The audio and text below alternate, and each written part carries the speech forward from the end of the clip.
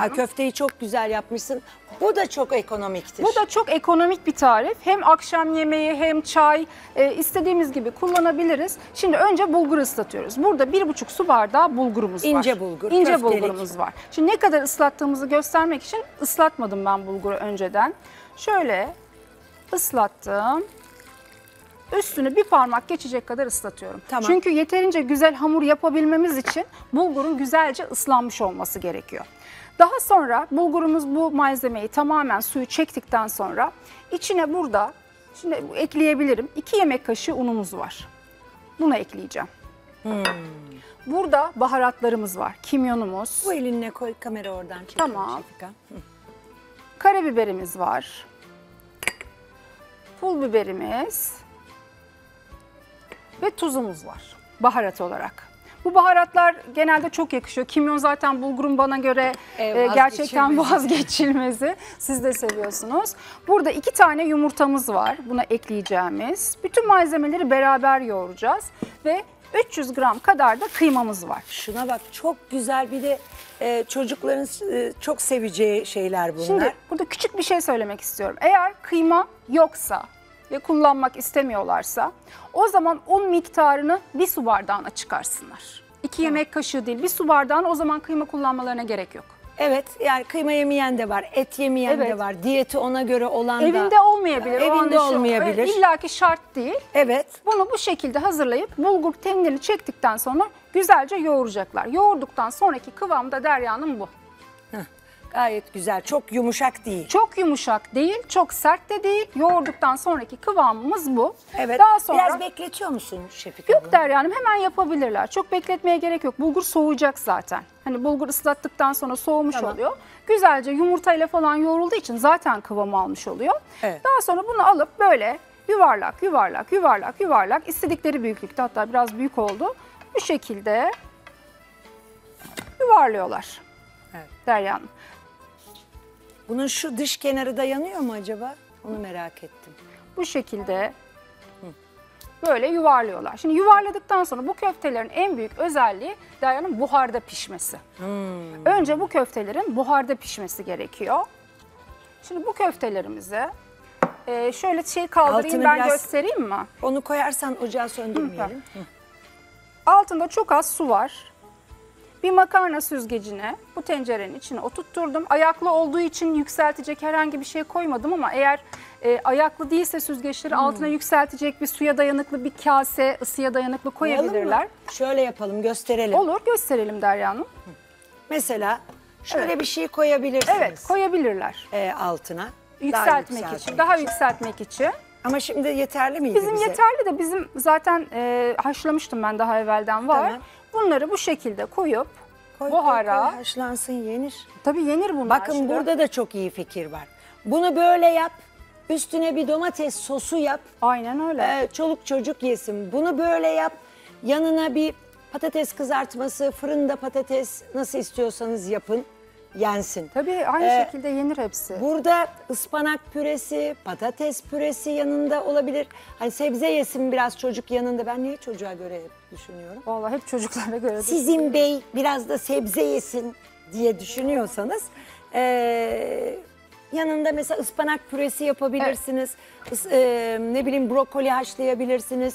Bir fasulye şöyle çevirebilirsiniz. Her şeyi Artık evde ne vardıysa Allah ne verdiyse yanına bir şey yapabiliriz. uyduruklanabilir. Şimdi bunu bu şekilde Derya'nın buharda pişireceğiz. Aşağı yukarı. Bunun ağzına mesela bir kapak kapatmayı Kapatabilir- ister misin? İsterim ama şimdi tavayı koyacağım ben bu ocağa. O yüzden bunu kaldıracağım Derya'nın. Bunlar bu şekilde e, güzelce pişip Ağzını kapatıyor musun mesela bu burada buharda ben kapatıyorum.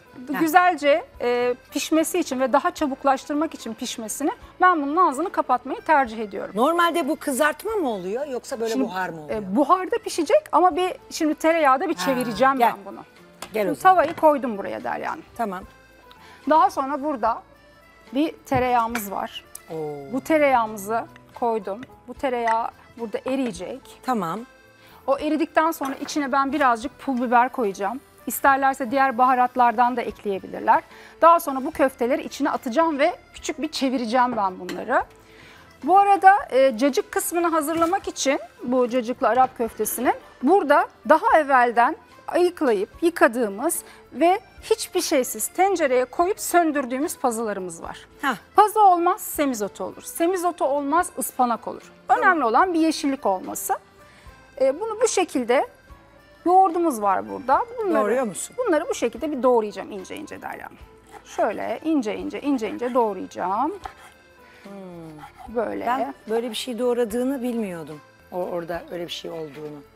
Tam bunun altına e, cacık kısmı, Yalnız yatak bu köfte kısmı. mantığını ben çocuklara çok seviyorlar. Mesela Evet, ekşili çocuklar köfte seviyor. de çocuklar yaparız. Terbiyeli ekşili köfte. Bizim evin mesela benim çocuklarım da küçükken vazgeçilmeziydi. Şimdi de bizim çocuklar mesela çok seviyorlar terbiyeli ekşili köfte. İçinde her türlü gıdası var. Her şey var Derya Hanım. Eti var, pirinci var, unu var, suyu var, havucun, patatesin içine verdiği lezzet var. Hepsi var. Tam bir çocuk yemeğidir. Şimdi bu e, burada süzme yoğurdumuz var. İçine sarımsağımızı koyacağım. Şuradan azıcık tuz rica edebilir miyim Derya Hanım? Al canım benim. Yoğurdumuza azıcık tuz ilave ediyorum. Çok az. Bunu karıştırıyorum. Şöyle güzelce. İsterlerse burada yoğurt miktarını biraz daha fazla kullanabilirler. İsterlerse de pazı miktarını biraz daha fazlalaştırabilirler. İzleyicilerimiz nasıl yapmak isterlerse bu yoğurdun içine bu pazılarımızı ilave ediyorum. Bu şekilde karıştırıyorum. Ay bu da çok güzel. Bu da çok Böyle güzel. sebzeyle. Şimdi bunun üstüne de o kızarttığım köfteleri koyacağım. Gerçekten çok muhteşem. Mesela? olacak.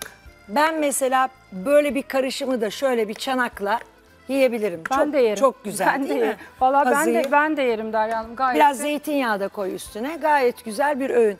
Buraya yavaş yavaş şeylerimizi atalım Evet mı? pul biber azıcık atacağım Derya Hanım üstüne. Pul Var biber burada pul biber? orada var karşıda. Atayım ben. Şimdi böyle bir kabın içine ben şöyle bir yoğurdumu yaymak istiyorum. Böyle yoğurtlu pazımı, cacığımı. Bu yeterli mi pul biber? Yeter Derya Hanım.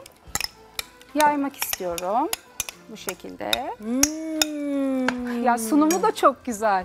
Ay çok güzel. Peki süzme yoğurt mu kullanıyorsun? Süzme yoğurt olması daha güzel oluyor açıkçası. Çünkü öbür yoğurt biraz sulanıyor. Özellikle bekledikçe masada sulanabilir. O yüzden süzme yoğurt çok daha pratik oluyor bu anlamda. Şöyle ortasında azıcık böyle açayım. Köfteleri de birazcık bunun üstüne doğru getireceğim şimdi. Oo Derya Hanım süpersiniz.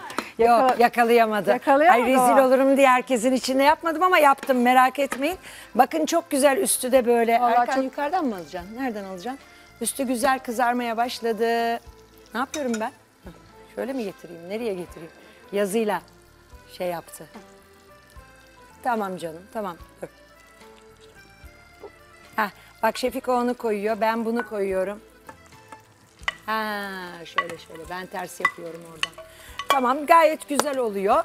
Bunları bir çevireceğiz Derya Hanım. Sizden Tamam, rica ben edeceğim. bunu. Bunun üstüne direkt olarak bunları dökeceğiz. Bu arada nasıl oldu Derya Hanım? Vallahi ne diyeyim sana enfes. Biraz üstüne biberle yağ biraz Evet daha. biraz daha koyabiliriz isterse. Kurabiye hamurda toparlanmaya başladı Derya Hanım gördüğünüz gibi. Süper güzel. Varsa toparlığı